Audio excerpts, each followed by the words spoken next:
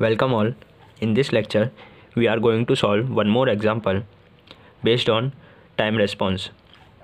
So, consider the servo mechanism as shown in the figure and determine the value of k and k of h so that the maximum overshoot in the unit step response is equals to 25%.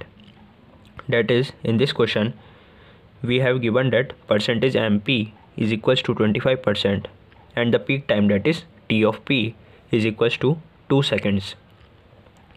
And we need to determine two values that is value of K and value of KH. So by analysis of this figure, we can say that the open loop transfer function that is G of S is equals to multiplication of these two blocks so multiplication of k and 1 over s square. So this implies that g of s is equals to k over s square. And here this is a feedback gain. So we can say that h of s is equals to 1 plus k of h into s. So we got the value of g of s and h of s from this figure. Moving on to the next step that is we need to find the characteristic equation.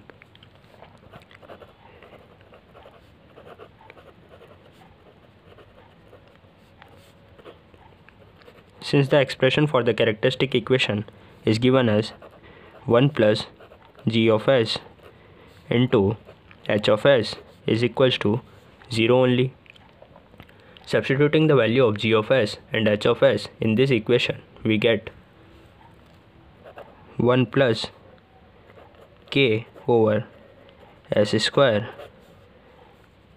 multiplied with 1 plus kh into s equals to 0.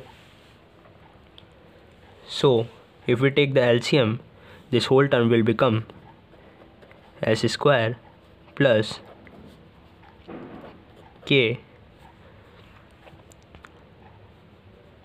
plus s into k into kh equals to 0. So in the quadratic form we can rewrite this equation as s square plus k k h s plus k equals to 0 this is our characteristic equation. And the general characteristic equation for the second order control system is equals to s square plus 2 del omega n s plus omega n square. This is the general characteristic equation of second order control system equals to 0 so on comparing equation 1 and equation 2 we got so many results. So on comparing this equation on comparing equation 1 and equation 2 we got this omega n square is equals to k. So omega n square will be equals to this k. This implies that omega n is equals to under the root k. And on comparing the second term that is 2 del omega ns and k into k of h into s we get that 2 del omega n is equals to k multiplied with kh. So on finding the value of del, we can say that del will be equals to k multiplied with kh divided by 2 omega n. Since we got the value of omega n equals to under the root k, so on substituting we got the value of del as k into kh divided by 2 under the root k. This under the root k can be cut down with this numerator of k. And we got under the root k in the numerator. So the final value of del will be equals to under the root k multiplied with k of h over 2 this is the value of del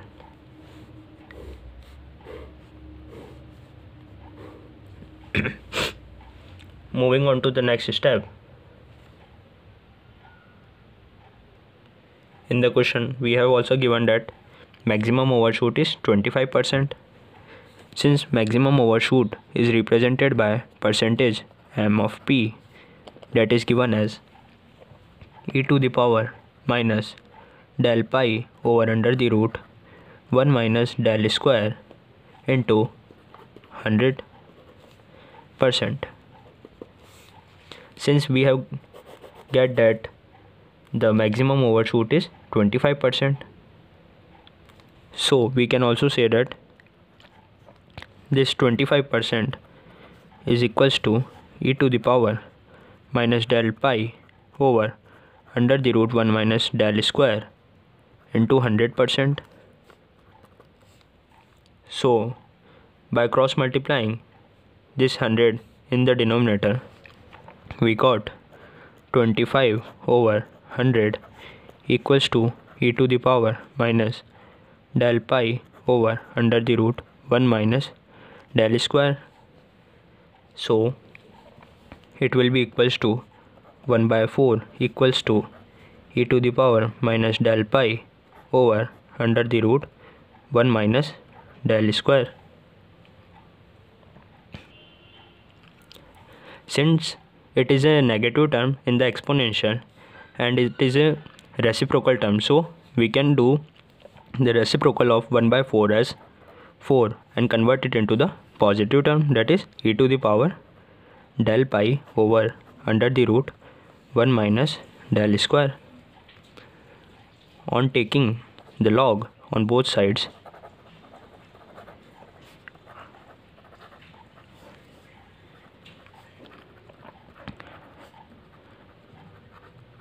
we got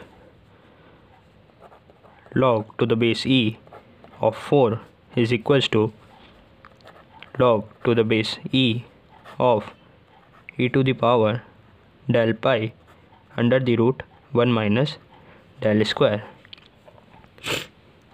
So the value of log e to the base log 4 to the base e is equals to 1.3863 and this whole term will come out and log EE equals to 1 only. So del pi over under the root 1 minus del square. On squaring both the sides we get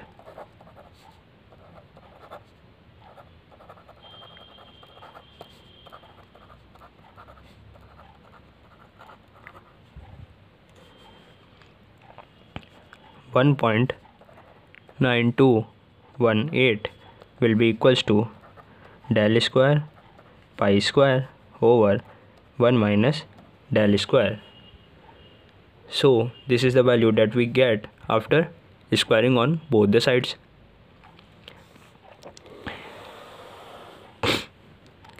So 1.9218 is equals to del square and value of pi is 3.14 to the power 2 over 1 minus del square. So 1.9218 is equals to del square multiplied with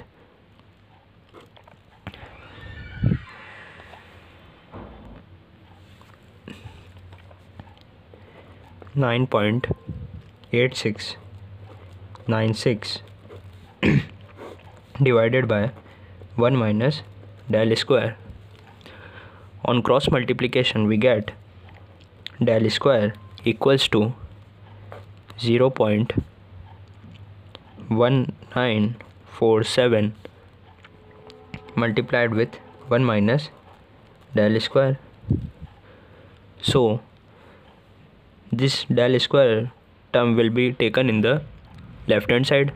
So 1.1947 del square is equals to 0.1947 that's why del square will be equals to 0.16298 so the final del value will be equals to under the root 0.16298 so on evaluating we get del equals to 0.4037 so this is the final value of del. Since we also given that peak time that is denoted by t of p is equals to 2 seconds in the question. And we know that the general formula for evaluating tp is equals to pi by omega d where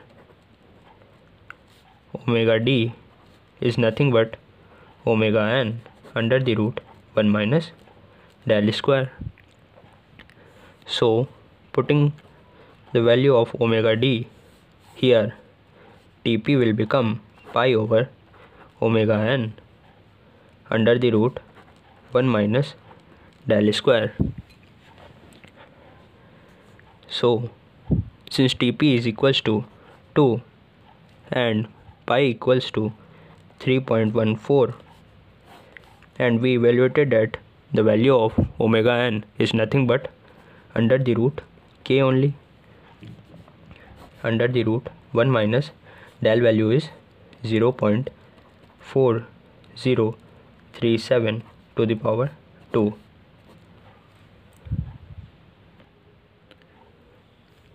so here the value of under the root k will be somehow equals to 3.14 divided by 2 multiplied with 0.9149 and under the root k value will be equals to 1.716 so the k value will be equals to 1.716 to the power 2 on evaluating we get k equals to 2.9447 so this is the final value of k that we have to find out since we know that 2 del is equals to k h over under the root k. So we have the value of del, we have the value of under the root k also. So from this relation we can easily find the value of k of h. So here k of h will be equals to 2 del over under the root k. So kh value is nothing but 2 multiplied with del value that is 0.4037 divided by under the root k value is 1.716 so finally the value of kh is nothing but equals to 0.4705 so this is the final value of kh and in this question we have to find out the value of k and kh thank you